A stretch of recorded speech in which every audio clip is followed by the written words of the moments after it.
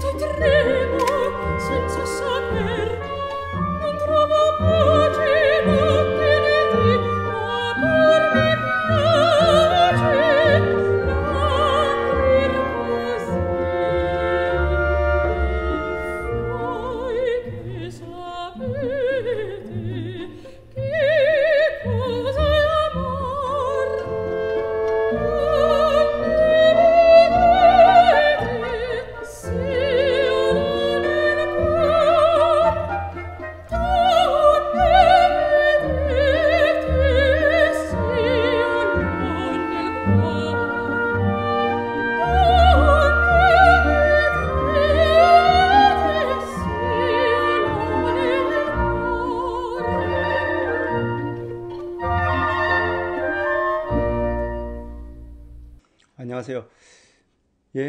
사진을 주로 하는 유튜버 방송 트래블 레스입니다.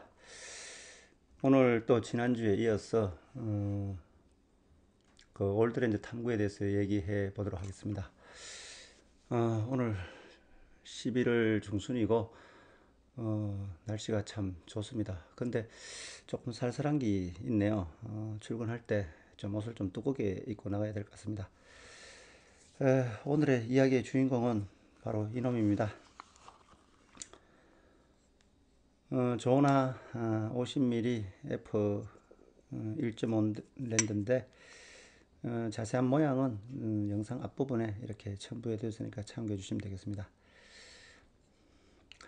이 조나 렌즈의 어떤 이름의 기원은 음, 독일어 그 존네에서 유행을 했, 유래했다고 하더라고요. 그, 어, 존네라는 건 태양인데 영어로는 선이고 독일어는 존네라고 하는데 어, 아마 거기서 유행한 게 맞는 것 같습니다. 제가 예전에 이제 충무로에 나갈 때 그때 이제 카메라 수리점에 그 김 사장님을 만나면 그 김 사장님이 제가 이 조나를 쓰고 있으니까 저한테 맨날 이렇게 농담으로 조나 조나 그 이렇게 물으면 저는 전화 좋네 이렇게 얘기했거든요. 그게 이제 표준말로 좀 서울말로 번역을 하면 전화가 좋으냐 전화가 좋네요 뭐 이런 뜻인데 그렇게 농담하면서 그냥 한번 뭐 웃고 희희낙낙했던 그런 시절이 기억에 납니다. 어, 전화 이 렌즈는 음, 1932년도에 생산된 건데 음, 테사 아, 같은 회사에서 만든 그 테사에 비해서 30년 한 그러니까 한 세대가 늦게 태어난 렌즈죠. 어, 그렇지만 이 렌즈를 이야기하려면 어, 테사 이야기보다도 좀 더 거슬러 올라가야 될 것 같습니다. 뭐 왜 그러냐면 음, 이 조나 렌즈를 설명하려면 어, 에르네만이란 카메라 회사에서 만든 그 에르노스타를 어, 이야기하지, 않, 이야기하지 않고는 뭐 될 수가 없거든요. 그래서 에르노스, 에르노스타를 만든 에르네만 음, 이라기를 먼저 해보겠습니다. 아, 그 에르네만 발음 참 안 되네. 음, 지난주에 말씀드린 그 칼자이저 테사 아, 그 이야기를 좀 복습하는 차원에서 어, 좀뭐 어, 반복되는 이야기도 좀 해보도록 하겠습니다.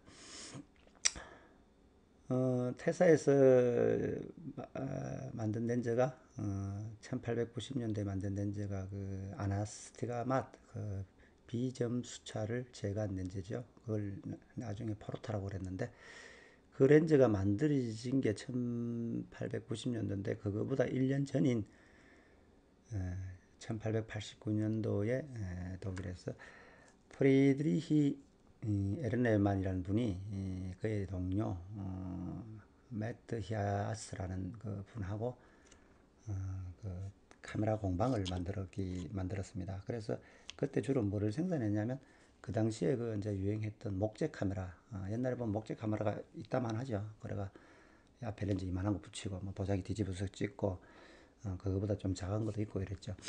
음, 그 당시에 유행했던 카메라가 이제 목재 카메라였고 그 이후로 오면서 이제 이 철로 바뀌죠. 어, 그 목재 카메라하고 이제 영상 기자재를 이렇게 만들었다고 하더라고요. 그건 1년쯤 지나가지고 무슨 연유에 있은지 그 동업자는 회사를 떠나고 어, 에르네만 혼자서 고군 고분군투하면서 어, 회사를 이끌어 오다가 어, 몇 년도야? 어, 어, 1899년 음, 드레스덴으로 이사를 와서 어, 회사 이름을 어, 에르네만 베르케라고 이렇게 간판을 걸면서 어, 본격적으로 사업을 했죠. 음, 참고로 그 1899년은 지난주에 말씀드린 칼자 이제 그 운하를 렌즈가 만들어진 시기죠. 음, 그래서 1903년에 부터 이제 본격적으로 소형 영사기를 이렇게 만들기 시작했다고 하더라고요. 근데 이제 이 회사를 잘 살펴보면 뭐 이건 제 개인적인 생각인데 상당히 이 회사가 좀 얼리 아답터적인 그런 회사 같아요. 어, 좀 남들보다 선구적, 선구적으로 이렇게 기술을 개발하고 좀 도전적이고 좀 상당히 좀 개척 정신이 강한 그런 회사라는 그런 느낌이 많이 드네요. 이 에르나만이라는 카메라 회사가. 음, 1907년에 이 회사가 최초의 SLR 카메라를 개발했다고 이렇게 기록이 되어 있거든요. 요거를 보면서 제가 아 이제까지 제가 잘못 알고 있는 걸 하나 깨닫게 됐는데 저는 SLR 카메라는 일본에서 먼저 만든 줄 알았어요. 뭐 예전에 이제 카메라 동호회를 다니면서 들은 이야기가 어, 일본도 이제 전쟁이 끝나고 뭐 카메라 좀 만들어 보려고 이렇게 경제를 부흥시키려고 하다 보니까 이제 그 카메라 시장에 손을 댔는데 그 독일의 M3를 가져가서 분해를 해봤다네요. 독일의 M3를 가져가서 분해를 해보니까 아 이거는 인간이 만들 수 있는 최고의 경지다. 아, 우리는 이거보다 더 잘 만들 수는 없다. 그런 결론을 내리고 어, 다른 분야 어, RF를 제끼고 이제 SLR 분야로 이렇게 적극 개척했다. 그런 이야기를 들었는데 제가 그때 좀 착각을 한 거죠. 아 그런 그거를 SLR을 먼저 개발한 걸로 그렇게 알고 있었는데 이번에 에르네만 회사를 이렇게 살펴보면서 음, 어, 에르네만에서 1907년에 SLR 카메라를 최초로 개발했다 이런 것을 또 알게 됐습니다. 어, 1908년부터는 음, 이 회사가 이제 렌즈를 자체 개발을 시작했다네요. 이 렌즈라는 거는 굉장한 광학 기술이 필요하고 원천 기술이 필요하잖아요. 그러다 보면 이거 뭐 쉽게 빨리 이렇게 할 수 있는 그런 게 아닌 것 같거든요. 어, 그런데도 보면 이 도전을 했다는 건 상당한 도전 정신이 있는 거죠. 보통 그 당시에 이제 카메라 회사들이 음, 카메라를 만들면서 이렇게 이제 렌즈는 다른 회사 걸 가져왔었죠. 주로 칼자이저 렌즈하고 그 괴르체 뭐 괴르 참 아니라 괴르츠 렌즈를 많이 쓴 것 같더라고요. 옛날 렌즈 를 살펴보면. 근데 어쨌든 간에 이 회사는 영상기를 같이 만들다 보니까 어, 뭐 렌즈를 자체 개발하는 걸로 더 유리 장기적으로 봤을 땐 유리하다고 생각을 했겠죠. 어, 그 아, 이야기 또 하면 안 되는데 그 시계를 살펴보면 이제 명품 시계라는 것들이 요즘도 존재하잖아요. 그, 뭐, 뭐 스위스의 그 독립 시계 제작자 뭐 필립 듀프로 뭐 이런 분들이 만든 어, 그 시계들은 넘사벽이고 그 아래 급에 앉아 이렇게 유명한 감, 어, 시계 회사들이 있죠. 뭐 파텍 필립이다, 뭐 바슬렌 콘스탄틴, 뭐 브레게, 뭐 또 뭐 있노? 아, 랑에문트, 제네, 블랑팡 이런 이제 A급에 들어가는 시계 회사들이 대부분이 보면 예, 광고에 보면 자사 무브먼트를 사용했다 이런 광고를 많이 하거든요. 이제 무브먼트가 아, 그 시계의 심장이라고 할 수 있잖아요. 핵심이죠. 그러니까 이제 그걸 자사에서 개발했다. 이걸 강조하는 거는 시계 분야는 자사에서 핵심 기술이 있어야 이게 이제 명품이 되는 듯한 그런 느낌이 들더라고요. 물론 이제 뭐그 아래에 뭐 중급대 시계에 해당되는 뭐 노렉스라든가 오메가라든가 그런 회사들도 어, 자사 무브먼트를 쓰는 회사도 있고 어, 대부분의 또 중급 회사들은 보면 음, ETA라는 회사에서 만든 무브먼트를 많이 갖다 쓰죠. 그 왜냐하면 이 아웃소싱이 좋잖아요. 그 자기 잘하는 것만 해서 또, 또 좋은 음, 유명 브랜드를 좋은 제품을 가져와서 이렇게 아웃소싱해서 combination 하는 해서 어, 완제품을 만드는 것도 좋은 방식의 하나죠. 어, 그 독일 카메라들이 대부분 그렇게 이루어졌죠. 몇 개 회사를 제외하고는요. 음, 어떤 간에 에, 이 회사는 음, 렌즈를 자체 개발을 하기로 뭐 이렇게 하고 어, 열심히 박차를 가했죠. 그래서 1919년에 에, 유명한 저 광학 회사가 이리 입사를 하게 되죠. 그래서 제가 늘 하는 이야기지만 뭐 되는 사람은 되고 될 일은 또 된다는 거죠.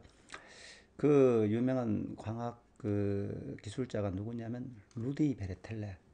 어, 저 영상을 보신 분들은 뭐 귀에 익숙할 거예요. 제가 하도 그분을 많이 언급해가지고 그분이 제가 자주 언급하는 이유는 그분이 그 취미 생활이 제가 젊었을 때 취미 생활하고 어, 비슷한 그 오토바이 그 라이딩 뭐 할리 데이비슨 타고 이렇게 다니는 거 어, 그런 취미가 저하고 같아가지고 제가 그분은 또 이렇게 잘 기억을 하고 있거든요.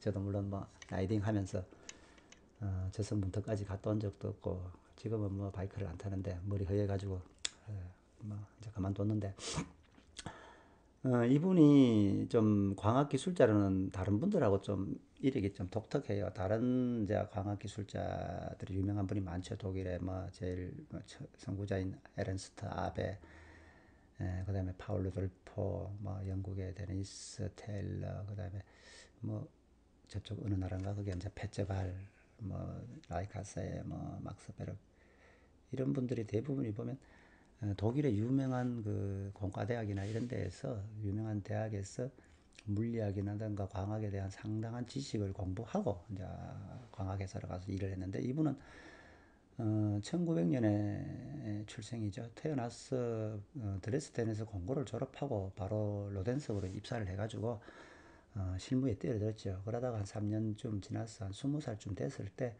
음, 1919년 그 에르네만에 입사를 하게 되는데 그 그러면서도 이게 광학 분야에 상당한 업적을 많이 남겼죠.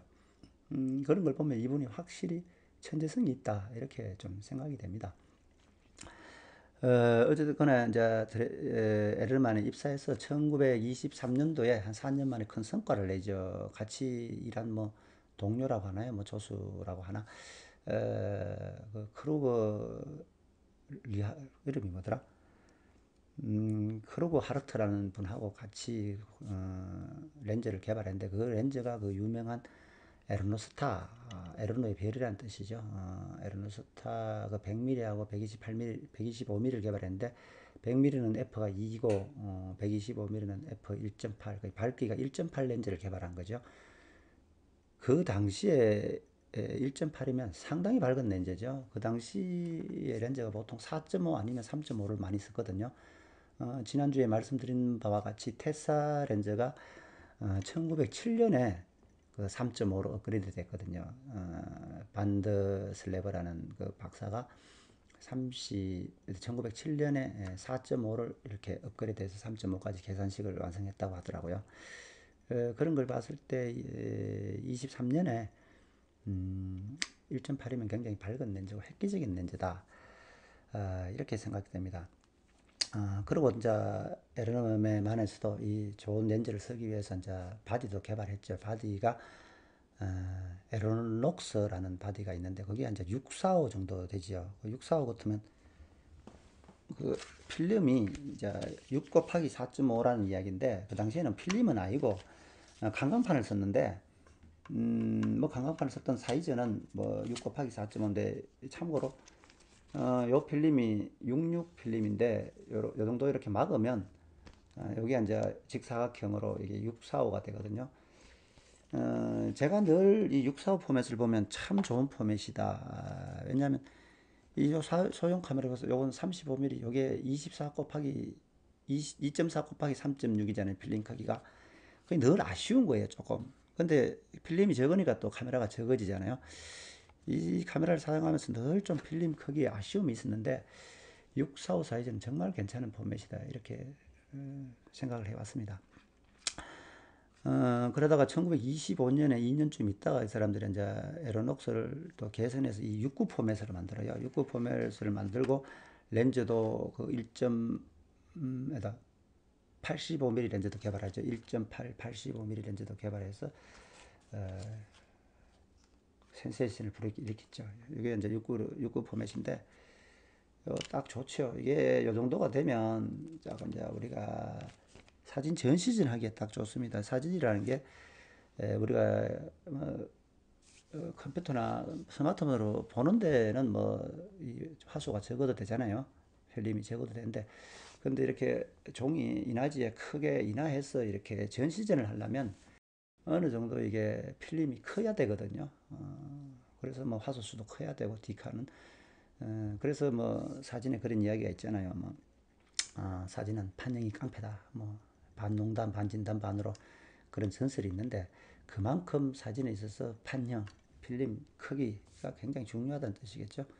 그러니까 전 세계에서 가장 이 명품이라고 소문난 이 라이카 카메라도 육구 카메라 앞에는 좀 겸손할 수밖에 없죠.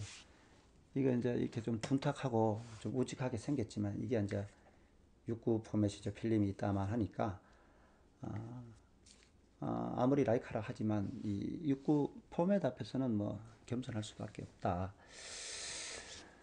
아, 당시 SLR 카메라고 하면 눈에 대고 찍잖아요. 이게 이제 SLR 카메라인데 익숙하죠. 이래가지고 눈에 대고 이렇게 초점 이렇게 맞춰가지고 이렇게 찍잖아요. 근데 이거는 이제 또 사이즈가 조금 작아서 뭐 이게 가능한 하기도 하죠. 어떤 간에 그 당시에 이게 에르네마는 음 이렇게 찍었다. 아, 그리고 굉장히 예, 조용히 흔들리지 않고 찍을 수 있었다.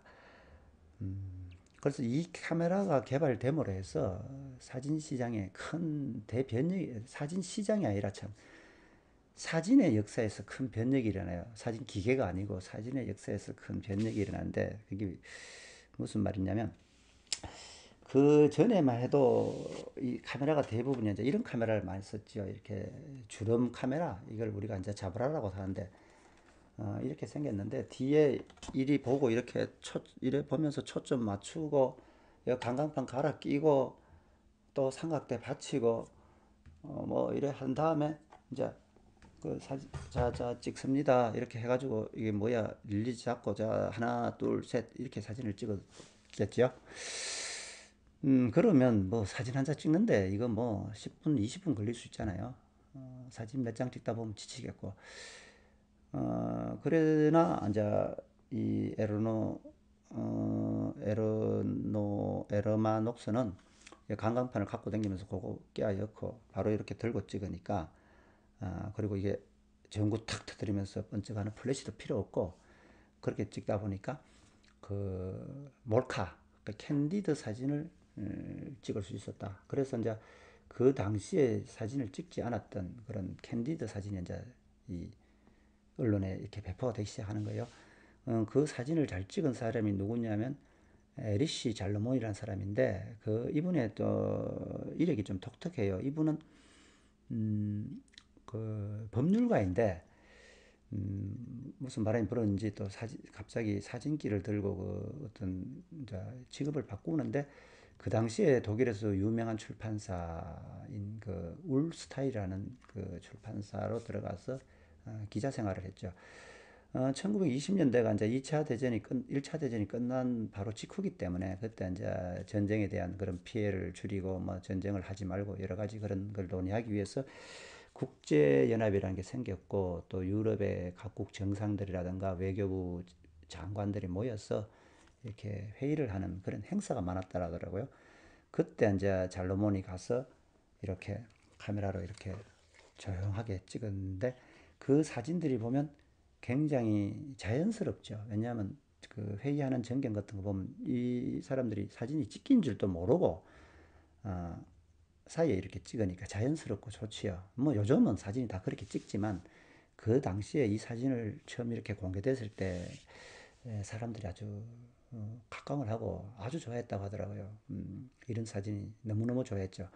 그러다 보니까 아, 그때부터 이제 이런 이렇게 찍는 사진이 유행을 했죠. 그래서 이제 이 잘로몬이라는 분이 candid 사진의 원조다. 아, 이 사진을 통해서 이제 저널리즘도 생기고 그래서 저널리즘의 창시자다. 뭐 이렇게 부르는 사람도 있더라고요. 또 저도 뭐 거기에 동의하고요. 어, 이렇게 뭐 큰 사진에 큰 족적을 많이 남겼지만 그 뭐또 에리시 잘로모이라는 사람이 1930년대 후반에 그러니까 그 이제 또 유대인 탄압에 독일에서 그 이제 나치 정권 유대인을 탄압할 때 거기 또 희생자가 되는 것 같더라고요.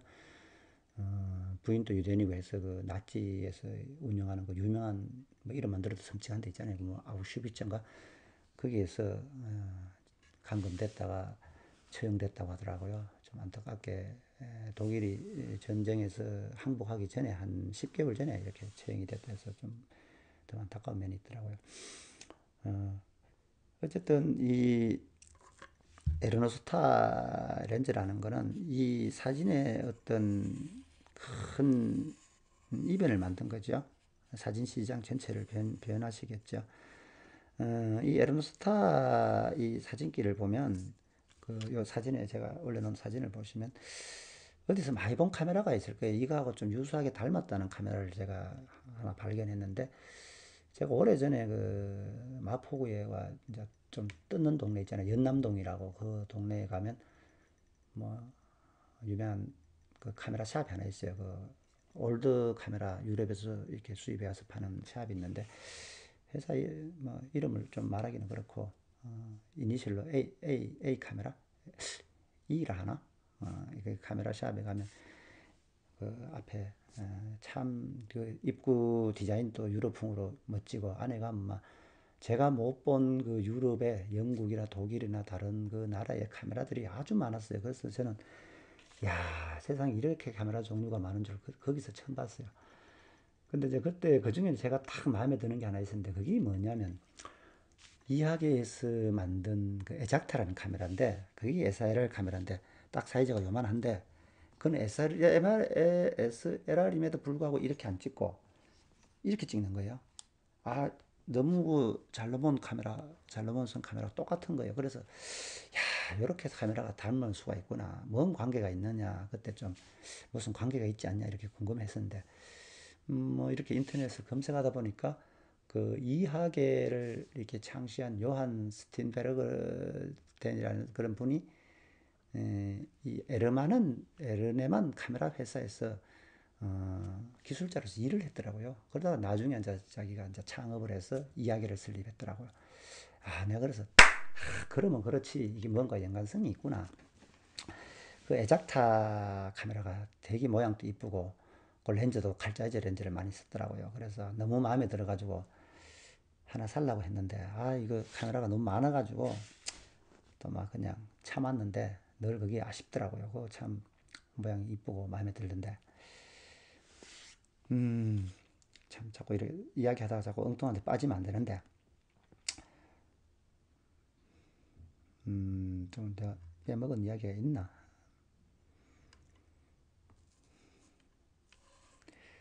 음, 카메라 시장에 이제 또 지, 대가 지각 변동을 일으, 에, 키는 또 하나의 음, 사건이 발생하죠. 그거 불을 지핀 사람이 에, 라이카사인데 1925년 5월 달에 음, 라이프치히 그 박람회에서 에, 이 요거보다 좀 전 버전인 최초의 소형 카메라 아, 필름을 사용하는 최초의 소형 카메라를 아, 박람회에서 전시하고 굉장히 각광을 받고 유명세를 타면서 인기몰이를 했죠.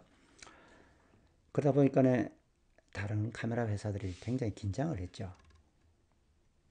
어, 그래서 다른 이제 카메라들도 소형 카메라를 만드는데 에, 뛰어들고 어, 그런 일이 있었습니다. 그 저 카메라를 만들기 전에 한 1914년도부터 프로토타입을 만들어 가지고 10년간 계속 이렇게 개조하고 발전을 시켜봤더라고요. 그 대단한 역사지요. 음, 1920년대는 독일에 있어서 경제가 굉장히 어려울 때입니다. 그 왜 그러냐면 1918년도에 어, 1차 대전에 이제 독일이 항복 서명을 했죠. 그 베르사유 조약에 서명을 하면서 패전국이 돼 버렸는데 그 뭐 전쟁 배상금을 무리 줘야 되고 뭐 이런 것 때문에 굉장히 어려웠죠. 뭐 다 아시지만 어, 전쟁이라는 게 뭐 이겨도 본전이 될까 말까인데 이 전쟁에서 져버리면 이거 뭐 답도 없죠. 뭐 망, 망하기는 망하는데 그냥 망하는 게 이거 쫄딱 망하죠. 그래서 독일에 그때 뭐 인플레이션이 일어나고 뭐 마르크가 완전히 종이가 휴지가 되고 그 이제 실업자가 넘쳐나고 각 그 공장에서는 인부, 그 기술자를 해고하고 그런 어, 일이 벌어졌죠. 물론 칼자이즈다 라이카사도 예외는 아니었고요. 어, 뭐 이런 유명한 회사가 그 정도면 뭐 다른 회사들이 뭐 말할 것도 없죠. 음, 그 과정에서 이제 난계를 어려움을 타개하기 위해서 이제 칼자이즈의 주도로 어, 인수 합병이 일어나죠. 그때 그 독일에서 그 유명한 좀 이름께나 있는 유명한 이제 카메라 회사 다섯 개가 어, 인수합병을 통해서 이제 짜이저 이콘으로 어, 거듭나죠. 그 회사가 어, 드레스덴에 있는 괴르처, 그 다음에 에르네만, 음, 그 다음에 저 슈트가르트에 있는 콘텐사 네탈, 그리고 ICA, 뭐 카르짜이저 이래가 다섯 개사가 음, 짜이저 이콘으로 나서 그때부터는 이제 짜이저 이콘이 되는데 아직까지 저는 맨날 칼짜이저 칼짜이저 이러거든요. 그게 이제 입에 붙어버렸어요 칼짜이저가. 에, 그러면 자동적으로 제가 앞에 말씀드린 누드비히 베르텔레 박사는 자동빵으로 어, 짜이저 이콘의 회사 직원이 되죠. 어, 그 루디비 베르텔레 박사도 이제 큰 숙제를 떠안게 되죠. 왜냐하면 이제 에, 짜이저 이콘에서는 이제 소형 카메라를 만, 들기 위해서 라이카를 따라잡기 위해서 이 소형 카메라 개발에 박차를 가했을 거 아닙니까? 그리고 또 이분은 렌즈 광학 기술자로서 늘 렌즈를 발전시켜야 되는 의무도 있고 또 소형 카메라를 만들기 때문에 소형 카메라에 맞는 렌즈도 개발해야 되고 그런 숙제를 안고 있었죠. 어, 그런 배경이 이제 있었죠. 그 렌즈의 진화라는 거는 이런 식으로 발전해가지고 우리가 발전 방향이라는 게 있잖아요. 렌즈라는 거는 좀 더 넓게, 좀 더 멀리, 좀 더 자세하게 이렇게 보는 렌즈 방향으로 발전할 거고 밝기는 밝은 렌즈로 발전해 가죠. 어, 그러다 보니까 이제 누디 베르베 베르텔레 박사도 그런 방향으로 상당히 연구를 해 갔죠. 어, 이 에르네만 회사가 얼마나 그 당시에 기술력이 대단했냐면 그 1925년에 영사 카메라가 아니고 영사기 렌즈인데 그 당시에 밝기를 f 값을 1.0이라는 렌즈를 개발했다고 하네요. 어, 요즘에 이제 그 녹티룩스라고 그런 렌즈가 있죠. 근데 그 당시에 1.0 렌즈는 거의 혁명이었죠. 그때 개발해서 그 30년 동안 그 최고로 밝은 렌즈로 자리매김을 했다고 하더라고요. 그런 걸 봤을 때 이 에르네만 회사는 상당히 기술력이 좀 뛰어난 회사인데 우리가 세상살이가 또 뭐 실력이 뛰어나다고 빛을 보는 건 아니죠. 어, 같은 시대에 영웅이 두 명 태어나면 빛을 못 보죠. 어, 그렇게 시대도 잘 타고나야 돼. 내하고 경쟁자가 없어야 내가 잘 나가는 거지. 내가 좀 잘났더라도 나보다 잘난 놈이 있으면 못 치게 되죠. 어, 시대문또인데 이 라이카는 회사, 라이카라는 회사에 좀 그늘에 많이 가려졌다고 그런 생각이 들더라고요. 훌륭한 그 회사임에도 불구하고, 음, 그 루디비 베르틀레 박사가 어, 이제 렌즈 개발을 하면서 어, 어, 에르노스타 1.8을 1.6으로 이렇게 에, 밝기를 에, 업그레이드하는 과정에서 조금 이렇게 그 렌즈를 좀 변형을 했는가 봐요. 그 에르노스타의 렌즈는 참고로 말씀드리면 3군 6매 렌즈거든요. 그 대부분이 렌즈가 그 당시에 이제 데니스 테일러 박사가 연구한 그 3중 구조, 그 triplet 구조를 근간으로 한단 말이에요. triplet 구조를 근간으로 하면 3군으로 이렇게 렌즈를 배치하잖아요. 그러니까 이것도 3군 6매 렌즈로서 어, 만들어졌는데 음, 요걸 조금 변형을 해서 음, 그 뭡니까 이제 조나 F2라는 그 밝기 렌즈로 어, 특허를 냈다고 하더라고요. 그게 1929년 8월이었죠. 음, 그때 이 조, 에, 베르텔레가 이렇게 렌즈 이렇게 왜요? 이게 연구 개발하다 보면 수식을 연구해야 되잖아요. 이 계산을 풀어야죠. 그죠? 미적분 뭐 이렇게 방정식을 풀어야 되잖아요. 그, 아, 나는 그 뭐 미분, 적분 막 식마 봐도 머리가 아픈데 그분이 이렇게 계산한 그, 그 시대는 컴퓨터가 없잖아요. 컴퓨터가 없으니까 아, 그걸 일일이 그 종이에다가 연필로 이렇게 이렇게 풀어 수식을 풀어야죠. 물론 뭐 연필이 아니라 볼펜으로 풀어도 되긴 되지만 그 수식을 푸른 종이가 아, 3,200장이라고 하네요. 그것도 어디 뭐 인터넷에 누가 글 올린 거 보니까 그 3,200장을 사오면은 높이가 아, 0.9, 어, 90cm 또는 1m 정도, 2만 정도 사인다고 하네요. 그러니까 야 대단한 그 종이의 양을 이렇게 연필로 이렇게 뭐 볼펜으로 푸는지 모르겠지만 연필로 이렇게 그걸 계산을 해서 그 방정 그 수치를 다 풀어서 그 F 1.5를 만든 거예요. 그런 거 보면 완전히 뭐 천재성이 있죠. 어, 근데 이제 렌즈라는 거는 밝은 렌즈로 갈수록 렌즈 숫자가 자꾸 많아지죠. 하나씩 더 떼는 거죠. 그리고 렌즈 알이 굵어지고. 그러다 보니까 이제 2.0을 또 밝기를 1.5로 이렇게 업그레이드 하는 거죠. 그래서 렌즈를 하나 더, 더 떼는 거예요, 뒤에. 그러면 이제 3군 7매가 되면서 어, 조나 F 1.5가 되는 거예요. 그래서 이것도 이제 32년 경에 이제 설계를 완료해가지고 어, 1932년 어, 부터 이제 음, 조나 렌즈가 생산이 되죠. F 1.5하고 어, 1.2.0이 생산되죠. 음, 그 생산된 렌즈들이 보면 이제 그때 이제 콘탁스 원하고 같이 생산되는 거예요. 콘탁스 원도 같이 발매가 돼야 되니까. 근데 그 당시에 처음에는 그 니켈로 만들었다더라고요. 그좀 니켈이 좀 누리끼리 하잖아요. 어, 그 그걸로 발매하다가 어, 그 이듬해 이제 니켈을 없애고 크롬하고 검은색으로 이렇게 에, 발매를 했고 어, 그러다가 이제 F 값도 어, 처음에는 이제 F 값이 최대 F 값이 8이었는데 F 값을 어, 11까지 이렇게 업그레이드를 했다고 하네요. 그런 과정에서 어, 조금 이렇게 설계를 자꾸 약간씩은 이렇게 변경을 했는 것더라고요. 그래서 인터넷에 보면 어, 조나 1.5F가 32년도라 서는 그림도 있고 어떤 데는 34년이라고 쓰는 그림도 있는데 어, 생산이 32년도부터 됐기 때문에 뭐 설계는 거의 32년에 끝났다고 보는데 이제 그 뒤로 조금 조금씩 아마 수정을 해서 그렇게 됐지 않을까 그런 생각을 한번 해봅니다.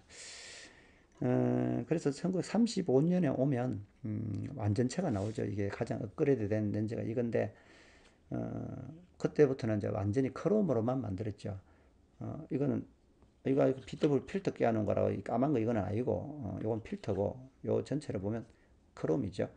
어, 요거보다 앞 버전은 어, 무광이에요. 무광 크롬 나오다가 뒤에 나온 게 이제 반짝반짝거리는 유광 크롬인데 예, 요 렌즈가 어, 조나 무코팅 렌즈의 이제 대표격이 됩니다. 어, 참고로 이거는 190만에서 200만 시리얼이기 때문에 이거는 어, 37년에 만들어진 렌즈고요. 35년도, 37년도, 39년도 요때 만들어진 조나 무코팅이 음, 무코팅 렌즈로서는 최고의 정점이다. 그리고 조나를 대표하는 어, 렌즈다. 아, 그렇게 말씀드릴 수 있겠습니다.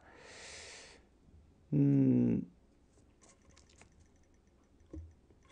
그, 그러다가 이제 1939년에 그 2차 대전이 벌어지죠. 2차 어, 대전이 벌어져서 한 5년간 정신없이 전쟁하는 바람에 어, 렌즈 생산이 그렇게 원활하지 못했는 것더라고요. 물자가 없으니까. 어, 뭐 하기는 했는데 좀 하다가 어, 어, 뭐 많은 듯 이렇게 했는 것 같더라고요. 그러다가 전쟁이 끝나고 이제 46년도부터 또 렌즈를 만들기 시작했는데 이 렌즈가 이제 46년이나 7년쯤에 만들어진 렌즈인데 이거 보면 이제 재질이 알루미늄 어디 뭐 지나 뭐 길바닥에 버려진 뭐 알루미늄 냄비 주스 와서 만든 거고 굉장히 좀 정확해요. 렌즈 알은 뭐 이렇게 좋은데 이, 이 밭에 이게 완전히 허접한 알루미늄 껍데기를 이렇게 뒤집어 씌우는 거거든요. 만든 것도 대충 만든 거고. 음, 또 나이카라든가 칼자이즈 렌즈, 독일 렌즈의 그 맛은 이 들었을 때 이게 중후함이 느껴지거든요. 묵직해야 돼요. 독일 렌즈들은 다 무겁잖아요. 왜냐하면 이 전체를 그 황동으로 깎아가지고 굉장히 무게감이 좋아요. 그래서 렌즈를 들면 작은 것에도 불구하고 무게감이 탁 느껴지거든요. 아, 이게 독일 렌즈의 맛이거든요. 근데 이거 뭐 들면 후불후 날아갈 것 같아. 너무 좀 껍데기가 대충 만든 것 같아요. 뭐 그 당시 이제 전쟁 끝나고 물자가 없으니까 이, 이 알루미늄으로 만들었겠죠. 어, 이런 게 나오다가 어, 1900, 그 이제 슈투트가르트로 옮겼죠. 46년에 그 서독으로 그 이제 슈투트가르트로 옮겨가지고 짜이즈 옵톤이라는 회사로 이름을 바꾸면서 다시 서독에서 만든 게 에, 제품들이 대부분 이제 51년, 53년에 정점을 찍죠. 어, 그래서 이 코팅, 이 T 코팅된 렌즈들을 보면 1951년도에서 53년도에 만들어진 음, T 코팅 렌즈가 아, 그 조나의 가장 진화된 가장 발전된 가장 좋은 렌즈다 이렇게 생각을 합니다. 어, 왜 그러냐면 뭐 코팅 안 된 것보단 코팅 된 게 아무래도 진화한 거니까요. 어, 그 렌즈들을 보면 저 처음에는 51년도 초반에는 이렇게 T자를 이렇게 써놨어요. 근데 나중에 이제 53년도 정도 넘어가면 T자를 안 써요. 지난주에도 말씀드렸지만 뭐 당연히 말 안 해도 T 코팅인데 자꾸 T자 쓸 필요 없잖아요. 어, 이 무코팅 렌즈나 이 코팅 렌즈를 다 이렇게 이렇게 살펴보면 음, 렌즈를 이렇게 자세히 살펴보면 먼지 같은 게 있어요. 작은 물방울이 이렇게 기포라고 하죠. 그 기포가 이렇게 한 서너 개씩 있어요. 뭐 한두 개 있는 데도 있고 이 렌즈도 마찬가지고 그 당시에 렌즈 기술로는 그 형석을 이렇게 만들 때 기포를 완전히 제거할 수 없었다고 하더라고요. 어, 기술이 그밖에 안 됐는가 봐요. 그러나 그 기포가 아주 가늘면 그 사진에 어떤 영향을 미치지 않는 걸로 그렇게 해석을 했나 봐요. 그러다 보니까 이제 그 품질 기준에는 만족됐다. 어, 다만 이렇게 좀 기포가 있으니까 좀 사람 눈에는 좀 거슬리죠. 근데 또 사람들이 또 좀 특이한 게 또 그 기포 들은 렌즈를 또 좋아하시는 분도 있더라고. 그래서 제가 옛날에 이거 들고 다니고 사진 찍으면 이 기포 들어있다 이러면 오히려 기포 들어있는 렌즈를 팔으라는 사람도 있어요. 그래서 내가 아, 팔려다가 어이씨 또 귀가 얇잖아요. 아 기포 들은 렌즈가 더 좋은 거 아닌가 또 이런 생각 돼가지고 또 그때부터 생각을 반대로 했어요. 아 나는 기포 들은 렌즈가 이 자부심을 갖고 써야 되겠다. 그래서 지금은 뭐 이 기포가 있거나 말거나 아, 뭐 사진은 영향이 없으니까 자랑스럽게 쓰고 있습니다. 어, 그러면 이 렌즈에 대해서는 어느 정도 설명한 것 같은데 제가 이게 자꾸 이게 칸닝 페이퍼를 보는 거는 이게 말을 오래 하다 보면 영상을 한 30분, 40분 넘어가면 영상을 다 찍고 나면 뭐를 아, 이야기할 걸 빼먹은 게 있어요. 그렇다고 다시 찍을 수는 없잖아요. 뭐 5분짜리 영상 같으면 다시 찍는데 3, 40분을 다시 찍을 수 없고 그래서 이번 영상을 찍으면서 아, 이 빼먹은 게 없는가 이렇게 체크하려고 이렇게 칸닝 페이퍼를 만들었어요. 그래서 쭉 제가 중간중간에 확인을 하거든요. 그 빼먹은 게 있으면 어, 이야기를 해야 되는데 여기 또 뭐 하나 빼먹은 게 있네요. 보다 보니까 우리가 이제 카메라가 유명해지는 데에는 사진기와 렌즈도 잘 만들어야 되지만 그것도 써주는 사람 유명한 작가가 있어야 또 작가의 이름에 이 카메라가 또 빛이 나거든요. 뭐, 뭐 예를 들어서 뭐 옛날에 미국의 뭐 제임스 딘이 뭐탄 포러스의 그 모델이 유명하잖아요. 그런 식으로 그 유명한 분이 또 이 카메라를 쓰면 또 어떤 상업적으로는 또 대박이 나죠. 어, 그 아까 잘러몬이라는 분 기자가 써서 에르노스타가 많이 알려졌듯이 그 이후에 이제 또 독일의 에, 독일의 참 그 프랑스의 그 어, 앙리 까르띠에 브루송이라는 분이 에, 라이카를 선물해서 라이카가 또 엄청나게 세상에 많이 알려지고 유명 카메라로 자리만데 한 몫을 했죠. 그 라이카의 전설을 만드는데 에, 에, 브레송이 있었죠. 또 에르나 에르마 녹스를 전설로 만든 데는 잘러몬이라는 어, 기자가 있었고요. 우리가 어떤 아까도 말씀드렸지만 사진의 역사, 아, 사진이 이렇게 변증사를 이렇게 예, 바꿔준 거는 뭐 사진가의 역할도 컸지만 그게 보이지 않는 음, 광학 기술자, 아, 기계 기술자들이 노력도 숨어 있었다. 아, 그런 면에서 어, 광학 기술자나 기계 기술자에도 저희가 사진하는 사람으로서 늘 감사의 마음을 갖고 살아야 된다고 생각을 합니다.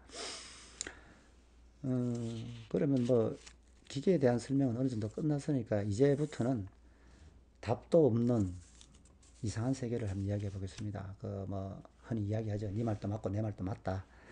어, 그게 이제 렌즈의 리뷰인데 어, 참 렌즈의 리뷰에 대해서 설명하려면 좀 답답해요. 이거는 거의 뭐 100% 어, 개인 의견을 이야기할 수밖에 없죠. 음, 그러면 뭐 개인 의견이니까 이거는 다른 사람 말은 다 무시하고 저는 제 생각만 음, 이야기해 보도록 하겠습니다. 제가 이거를 많이 쓰진 않았어요. 왜냐하면 음, 지난번에도 말씀드렸지만 주미크론 렌즈라든가 이런 데 비해서는 상당히 좀 불편한 게 있어요. 그래서 어, 자주 못 썼어요. 그렇지만은 그, 그 렌즈의 어떤 성능은 상당히 좋았다는 그 마음은 잊을 수가 없습니다.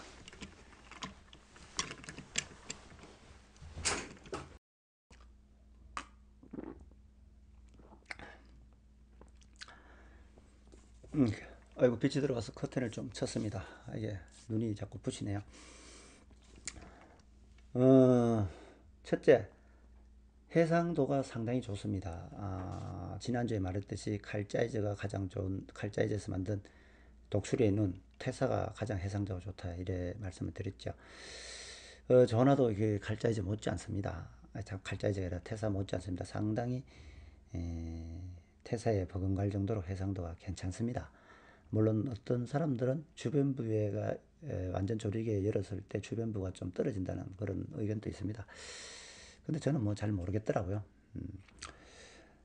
어, 이제 테사에 비해서 좀 비교해서 테사보다 좀 장점이 뭐냐면 이건 제 개인적인데 제가 이 렌즈를 좋아하는 이유는 어, 개조가 상당히 좋고 그 느낌이 상당히 부드러워요.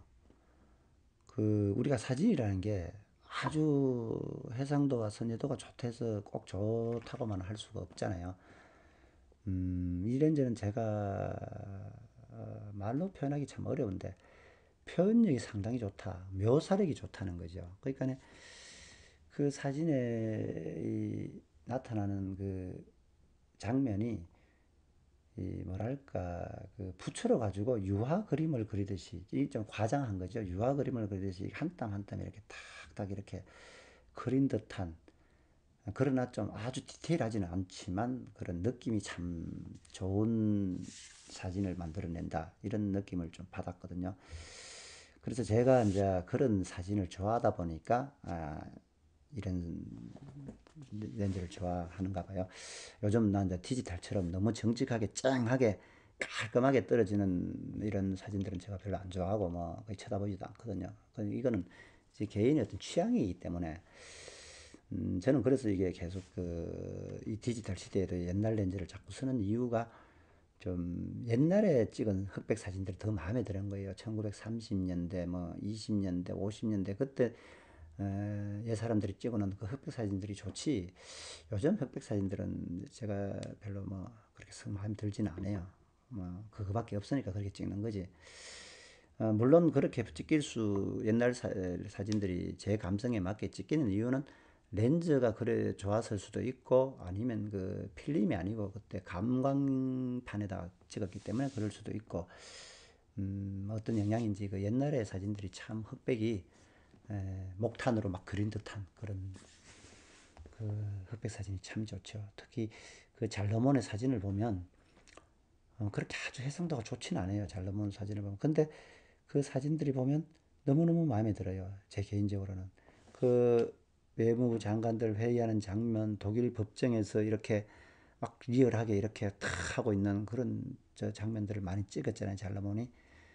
예, 그것이 이제 신문에 실리고 잡지에 실리고 이러다 보니까 이제 센세이션을 불어일으키고 잘라몬이 유명한 작가가 됐는데 그 흑백 사진들을 지금 봐도 너무 마음에 들어요. 한땐 제가 그 사진을 보고 야, 제가 흑백 사진을 참 좋아하는데 나도 이제 사진 카메라를 손에 놔야 되겠다. 나는 아무리 찍어도 뭐 흑백 사진은 한계를 느끼는 거예요. 그래서 제가 그렇게 좋아하는 흑백 사진도 어, 옛날 그 흑백 사진만큼을 표현할 수가 없더라고요. 제 실력과 제가 갖고 있는 장비로는 그래서 많은 아쉬움이 있죠. 음, 어쨌든 간에 이 조나가 왜 사진이 조금 그나마 약간 내 마음을 조금이라도 충족시켜주는 이유는 어, 이 렌즈가 아, 그 에르노스타 렌즈에서 파생돼서 그러지 않을까라는 그런 뭐 생각을 나름대로 해봅니다. 어떤 음, 이 렌즈에 느끼면 음, 그 표현력이 좋다. 그리고 사진에 전반적으로 이 느낌이 좋다. 아, 이렇게 말할 수 있겠습니다. 이거 뭐 제가 말해놓고 되기만 말인지 방구인지 모르겠는데 아, 뭐 말로 표현을 이렇게밖에 못하겠네요. 그, 그 다음에, 음, 컬러감도 상당히 괜찮아요. 근데 대부분이 이제, 여기 뭐 사진 한 사람들이 하는 이야기가 그런 말이 있죠. 무코팅 렌즈는, 어, 흑백에는 좋은데 컬러는 좀 안 좋다. 이런 게 무슨 정설인 양 이렇게 예, 돌아다니더라고요. 뭐 실제적으로 그걸 뭐 찍거나 보거나 그 말을 하는 사람이 있는지 뭐 진짜 들은 말을 옮긴 건지는 난 모르겠는데, 음, 제가 느끼기에는 저는 거기에 대해서 별로 동의를 못 하거든요. 어, 옛날 렌즈가 어, 흑백 전용으로 만들었기 때문에 흑백에는 좋지만 칼라에는 좀뭐안 좋다는 그 이야기는 저는 동의 못 하고 흑백에 좋은 렌즈는 칼라에도 좋다. 저는 이런 생각을 갖고 있습니다. 왜 그러냐면 그 당시에 이걸 만들 때 칼라 필름을 생각을 못하고 만들었지만은 에, 흑백 사진을 완벽하게 잘 만들기 위해서는 필요한 광학 수차는 다 제거를 한 거예요. 물론 모든 수차를 다 제거하진 않았지만 사진에 필요한 그런 수차는 다 제거를 했고 좀 부족한 면이 있지만 어, 사진에는 뭐 완벽한 사진을 만들 수 있었다. 아, 물론 뭐 칼라를 생각 못하고는 했지만 그래서 이 렌즈가 아, 칼라 사진에도 어, 또 좋다. 왜냐하면 흑백에 우수한 사람이 칼라에 우수하지 않을 수가 있느냐. 그리고 또 저는 찍어보고 제 느낌에 에, 그렇다는 걸 느껴요. 그럼 다만 어, 현대 렌즈, 현대 나온 렌즈를 찍은 것보다는 좀 색감이 좀 진하진 않아요. 그 진하지 않은 건 당연하지 않냐 이거야. 이게 잘못된 게 이거 현대 렌즈들이 너무 색을 진하게 강하게 표현하더라고요. 나는 색이라는 것은 있는 그대로 표현해야 된다. 이 칼자이즈 렌즈 장점이 잘났든 못났든 있는 색 그대로 표현해 주기는 다고 생각을 하거든요. 뭐 왜곡해가지고 더 이쁘게 만들고 뭐 그렇지 않습니다.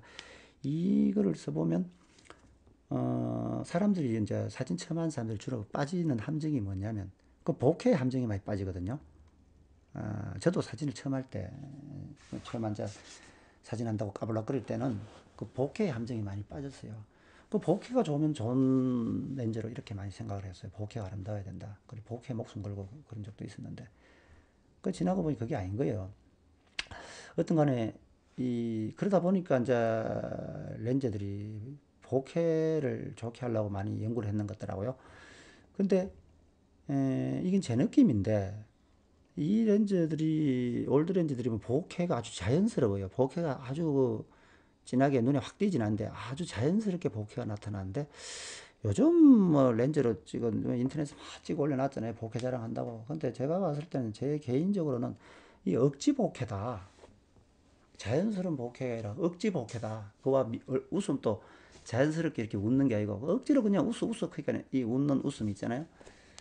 어, 그런 느낌을 받더라고요. 그래서 저는, 음, 뭐, 어, 복해가 자연스럽다. 표현력이 부드럽고, 어, 자연스럽다. 그래서 제 개인적으로는, 어, 이거를 뭐, 간단하게 설명을 하면은, 어, 테사 렌즈가, 어, 도시에 이 아주 뭐, 글도 많이 배우고 잘 좋은 집에 태어나서 공부도 많이 하고 명문대학교 나오고 뭐 옷도 잘 입은 도시의 차도남이라고 하면 이 렌즈는 그 시골에서 그냥 뭐 고무신이나 끌고 다니면서 뭐 소나 몰고 논두기나 왔다 갔다 하는 그런 시골 촌놈 같아요.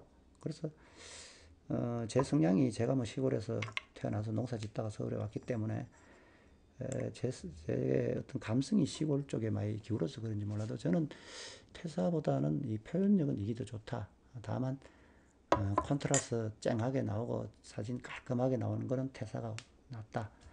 그래서 결론 엄마 좋냐 아빠 좋냐는 늘 이야기해도 답이 없다. 자신에게 맞는 렌즈가 좋은 렌즈다. 아, 이렇게 생각을 합니다. 그리고 참고로 어, 어, 요걸로 찍은 음, 칼라 사진 디카를 디카를 가지고 요걸로 찍은 칼라 사진과 어, 그 유명한 라이카사의 주미룩서 어, 1.4 그 좋은 렌즈죠.